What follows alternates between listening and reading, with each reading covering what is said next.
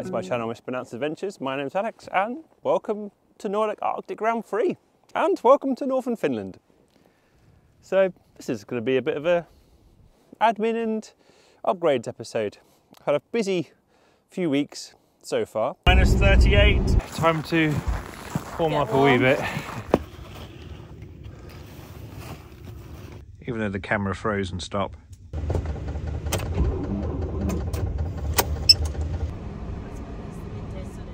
Uh, time for a little bit of downtime and to do a few needed upgrades to the van. So let's get into it. Right, well, first off, I kind of want to show one of the upgrades I did to the van before I came out. The one which delayed me by leaving the UK for about four or five days. So it's not that cold this morning, so the engine should just start no problem. We go. We'll put the preheater on actually anyway, just so I can get that heated up the engine quicker to defrost the cab. But yeah, let me show you one of the upgrades I did to the van before I left. Although I just need to move over slightly just so I can actually get it out. That should be moved over. So, first upgrade I did to the van before I left was I wanted to add a bike slide. Helps if I unlock the van.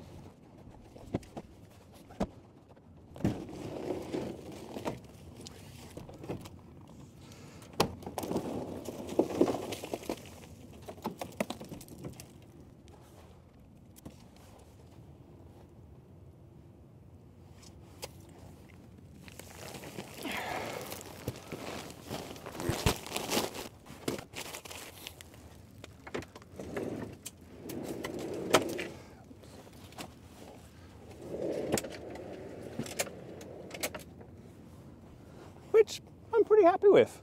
So last winter, I brought up my little My Rider.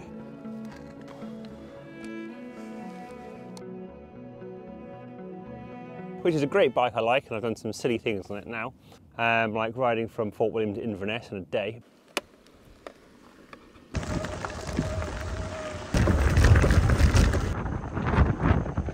Seventy-six point eight mile, and it's twenty to midnight. But it didn't work very well in the snow. So reached out to Himiway, which I haven't actually released a video for yet, and they gave me the Himiway Cobra, which is a fat tire e-bike with 26 by 4.8 inch wheels. And I thought, big wheel, be good snow. Before people go, oh, e-bikes, you can't use e-bikes, the battery will be decreased in the winter.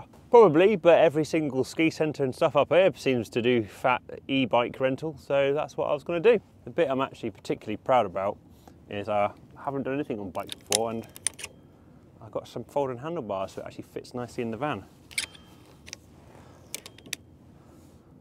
Pretty happy with that. Relatively easily slides back in.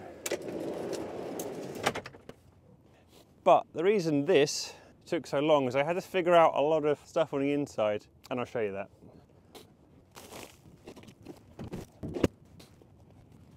Just whilst we're here, I'll show you an upgrade I did years ago to the van, which I don't think many people actually know I did. On these back windows, because of the way they're single glazed, and you've got your bead of sealant, and then sort of the metal rim on the inside of the van, I found that this area filled up with condensation or water. So I put a little, tiny little hole, and then a, I put, a wall plug, basically is a plastic straw, and that just allows any condensation which appears to drain out and run down the back of the van. So a great little uh, upgrade, a bit of hole so any water which gathers in the bottom of your window can drop out. Now that we're back inside the van, let me show you what changed slightly. So this area is pretty similar as it was before, only this cabinet comes out about another four or five centimeters, which I found you don't really feel a bit of a difference.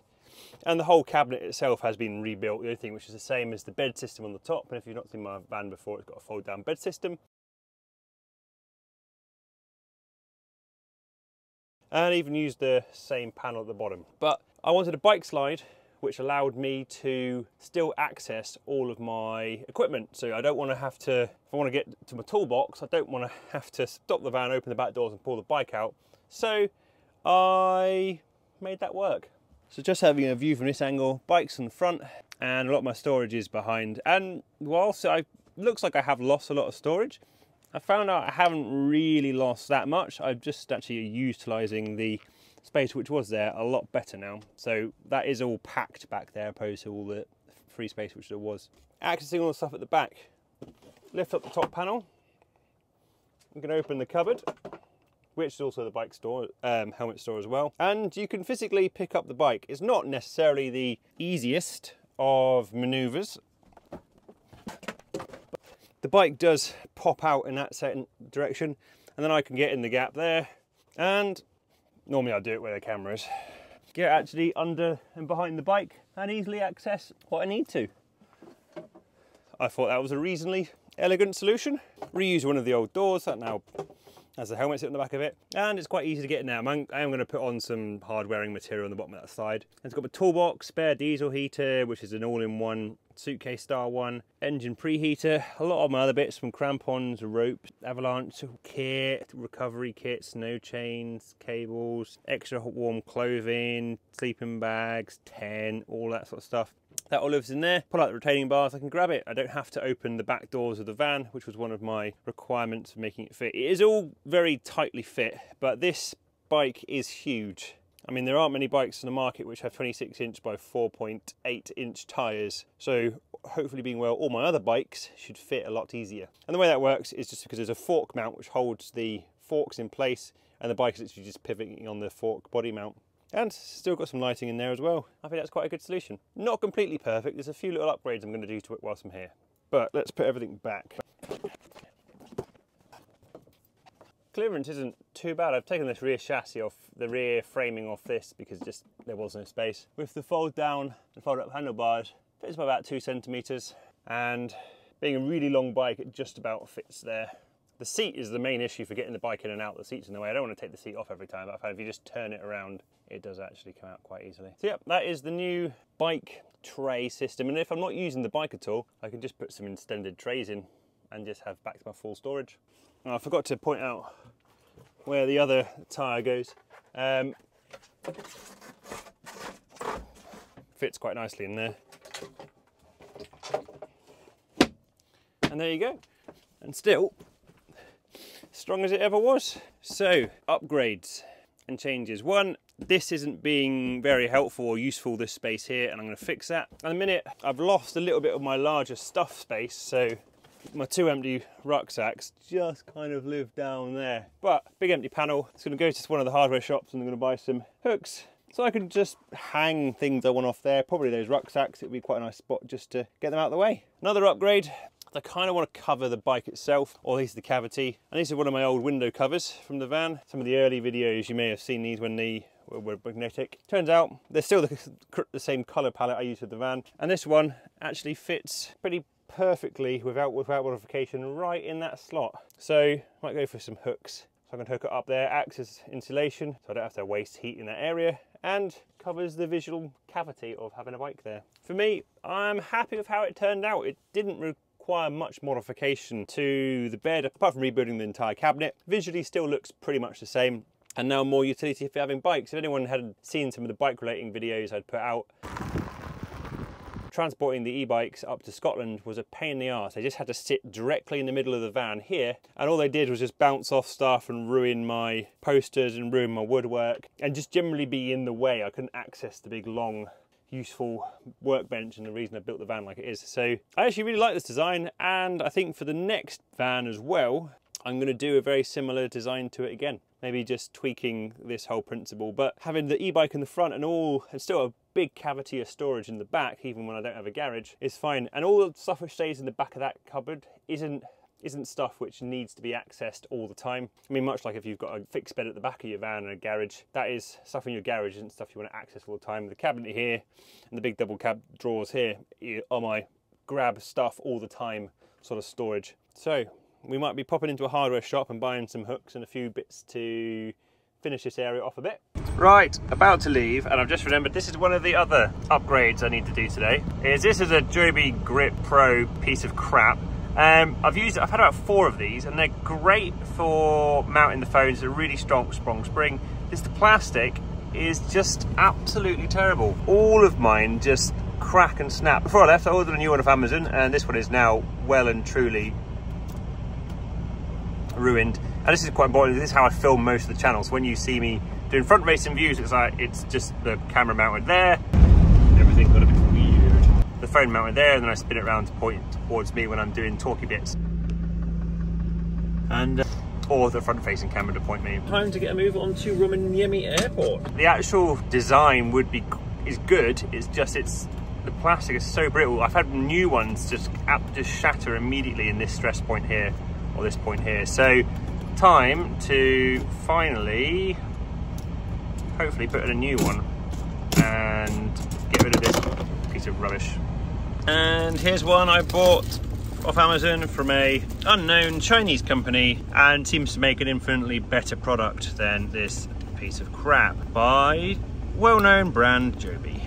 This is metal, also got a cold shoe mount, also does, it's hard to do one-handed, uh, portrait as well as landscape. A few extra mountain holes for different sizes. Yeah, very happy. Let's see how well it performs. That's the model if anyone wants to know. And it's large enough to accommodate my phone, which is a uh, iPhone 14 Pro Max with an OtterBox Defender case on it, which makes it bigger, a bit bigger than most normal ones. So let's give it a little twirl. Not quite. Ah, we're gonna need to move this up a wee bit. There we go. All mounted up. Pretty happy with that. And seems to fit pretty snug in there. Next up, a few plans. I'm going to do my best to keep a lot of the Arctic series, not to have any full collaborations in it. Any full collaboration video, I will do as a dedicated video for the collab which is what I did last year. I think last year when I did the EcoFlow one, sort of showed me building up to doing the EcoFlow stuff, and then did a separate EcoFlow video. I might do a few integration. I say I might, I'm literally about to do an integration. So these guys reached out to me and they make internet solutions for vans. And at the time, I've used a Huawei E5577 router for the last couple of years and it's, it's worked fine. It does, however, not have, an, I don't have an external antenna installed for it and that's a bit of a drawback for me. And I'm always looking into new technology and new options. This company contacted me out of the blue and they offered me their 4G mobile camper van kit and a puck antenna. So I'm thinking I'm going to install that. Nowadays, it's a bit more important to me, as well as my YouTube stuff. I've also do remote work for Roamer, so I do quite a lot of consultations on video calls. And because my current router doesn't have an antenna plugged in, I kind of occasionally move it into the cab because it gets better signal. So if I could have an antenna on the roof, that would be fantastic. But we'll solve that a bit later because I need to get going for the day. So um, I guess get on with today's drive and down to Oulu.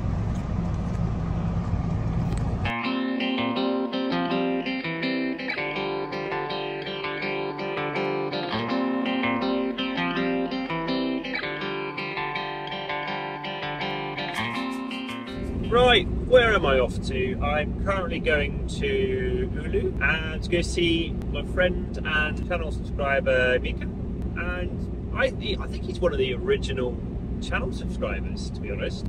Even before the first European trip, even the, so four trips ago. And every time I've been up here, I've, I've met up. He's a van builder in Finland, got a pretty cool Iveco, and conveniently, he's also allowed me to use his address to order a few components as well, which is nice. So, so I may have done a collaboration, which will be a separate video. But we all know I like lighting on my van, lots of light, front lights, under lights, side lights, back lights, all the lights my big main roof bar and potentially the front lights as well, I'm going to replace. Is there anything wrong with my current 52 inch light bar? No, it's bright, it's been fine for the last two years. Paint's getting a bit tatty uh, from some corrosion on, on, on Speed camera ahead. Thank you very much. Paint's getting a little bit bubbly on some of the areas where like the aluminium's corroded underneath. But I got a message from. In about 10 miles, at the roundabout, take the second exit onto Nellisty. But I got a message from a lighting company called Colight, and they make some nice light bars. And I managed to wangle a 52 inch light bar off them to replace the one I've got. Why would I want to replace one 52 inch light bar with another one? Well, this one I noticed it's got a different design.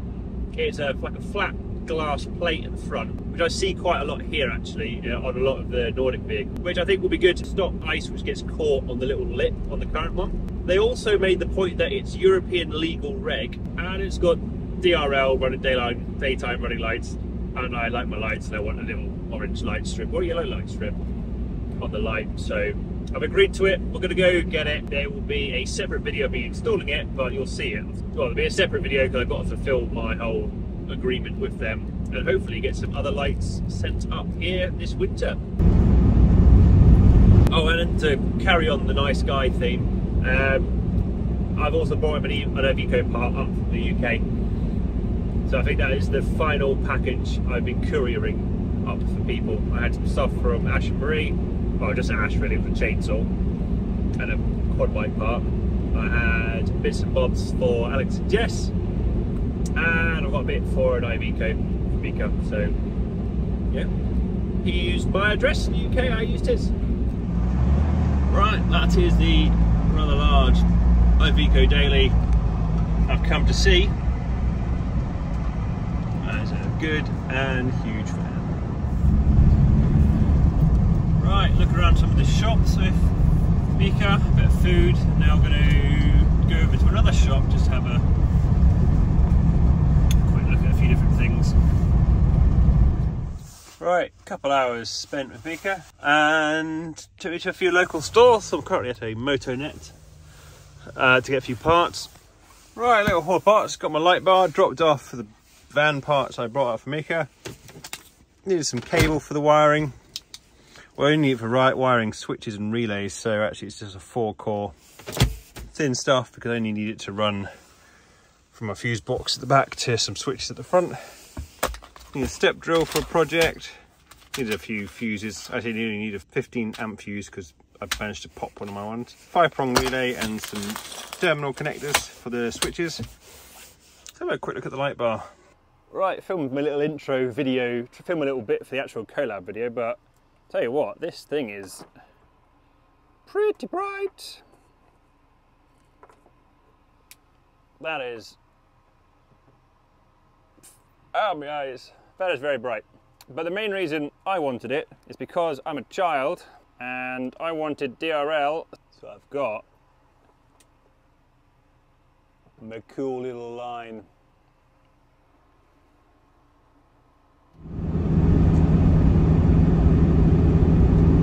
Right, I'm getting quite tired, so the minute currently driving for about an hour to get towards Kemi and a bit north towards Rovaniemi again. I'm gonna find a park up and do a couple of hours of couple of hours of editing tonight, and then do some of my projects on fitting bits and bobs to the uh, to the van tomorrow.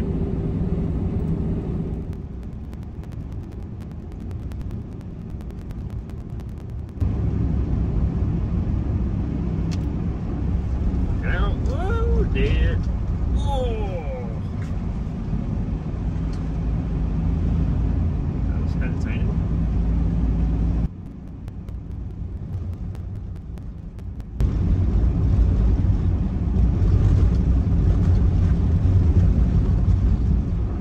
Now, woo. That really kicks you off the road.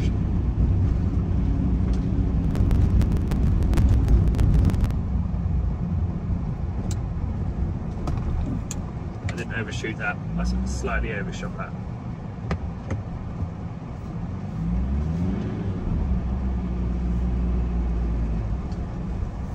Huh. It's quite busy. One, two, three, four, five. There's quite a few cars here. Uh, decided I'm going to move on. Busy car park, really. I'd rather not take up space because I want to edit loads tomorrow. And if there are people wanting to go for local walks, then fair play.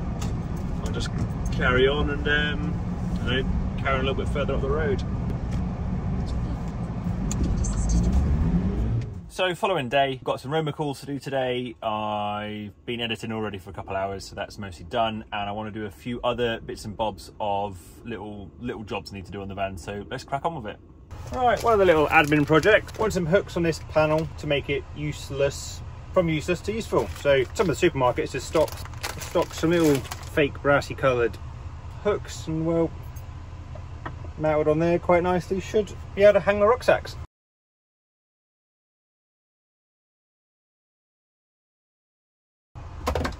There we go, hooks installed. I can now make some space and hang my bags up. One job done. Right, finishing with my Roamer calls today, and it's above zero. I think it's 1.4 degrees, which means all of the dirty ice and snow for the last few weeks has just dropped off the van. Ew. That's a lot of dirty marks. That's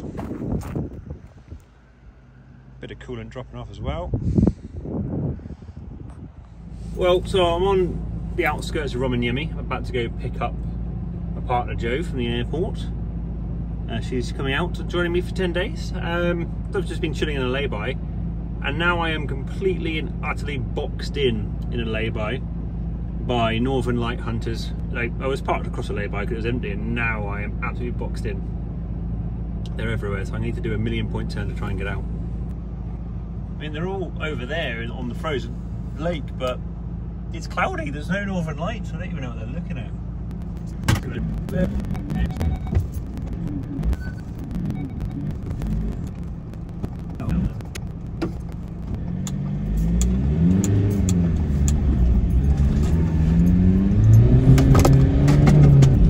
If that was a crowded car park and I parked diagonally across a space, or three spaces, then yes, I'm the bad guy. But it was an empty lay-by I pulled into, like just on the road, and then cars parked staggered in front and behind me.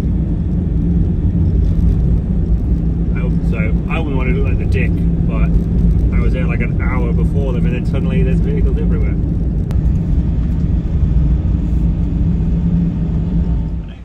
Right, what other admin projects can I do? This this has run out of power, so I can take that off the wall, put new batteries, but I've got an annoying feeling the outside receiver, which is on the roof rack, is also out of power, so I'm gonna have to go outside and climb on the roof to do that. Also, if anyone wonders, the reason there's a lump on this is because that's the light button, so when you, it's in the dark, you can feel along the bottom and you press the button directly above it. If not, you end up changing the sync or the history or to Fahrenheit, whatever a Fahrenheit is. Let's do That instead. I did well and truly stick it on it, didn't I? Bloody hell.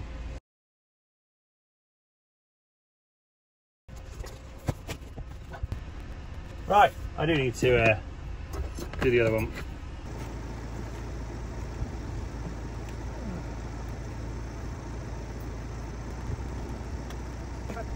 Too bad to get hold of, so put some new batteries in that and uh, climb back on the roof again.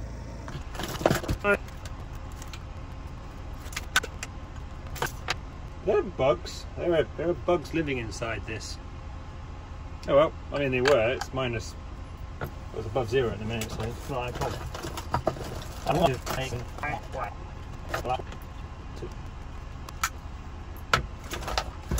Moment of truth. Channel 2, you want to work for me? Hey, there we go. Working, right. Gibble ties and get this back up again.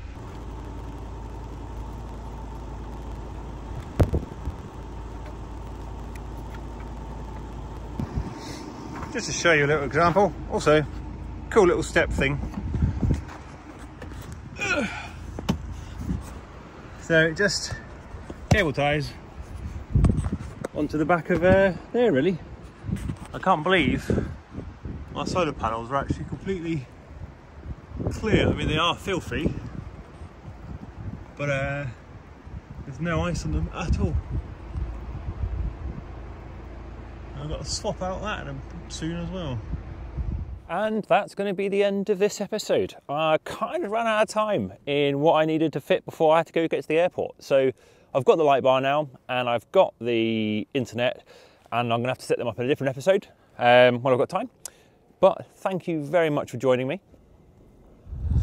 Do consider subscribing to the channel, leaving a like and a comment, checking out the rest of Arctic Series 3 or Arctic Series 1 and 2.